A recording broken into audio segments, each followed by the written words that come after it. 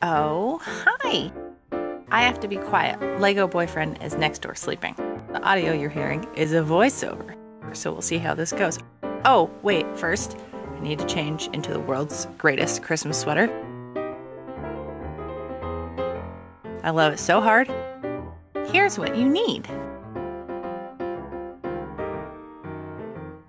It's been a long week. The main thing you're gonna need is a sweater.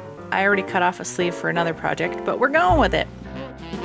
Plus, I'm gonna cut the other one off later. You'll also need some cardboard, white yarn, some scissors, a hot glue gun, don't burn yourself, some other very tacky decorations, a star and a safety pin specifically for what I'm doing, and then we'll see what else. My sweater is pretty loosely knit, so I'm gonna ram some cardboard inside, separate the leathers. Leathers? Layers.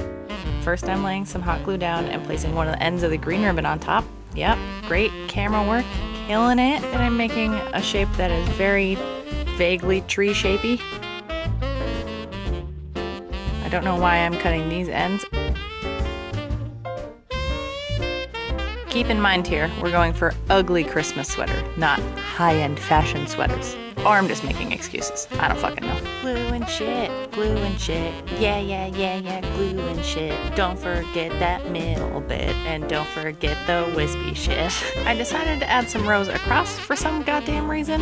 Uh, and next we're adding lace to all the stripes, because why the fuck not? I made sure to cut at an angle to keep that beautiful tree-like figure. Don't touch it with your fucking dumb hands. Use literally anything else. Oh, and now we're using the inspiration for this project. These are baubles I got from Jen from Technicolor moments. So I left a little bit of string on top. And then I'm sticking the thing down. Oh, more awesome camera work, killing it. At least I remember to not use my own fingers. Ah, and now the tree topper. This was a Ramona Flowers hair clip. I can just cram the little sticky part through the wide, loose knit. Oh, and per my sister's request during a live stream while I was working on this, decided to add some fringe which should also be sewn, but that's just not going to happen. Ah, yes, instantly forgetting that I had only one sleeve, so better angles. Yep, yep, beautiful. And here's me hoping everything's in frame, which it is not. And now we're on to the beautiful animal motif sweater. But it's not that festive yet. I have the pre-mangled sweater, I have the white yarn. Ah, here's the idea happening. Okay, let's use some cardboard. I made a weird rectangle shape with a smaller rectangle in it.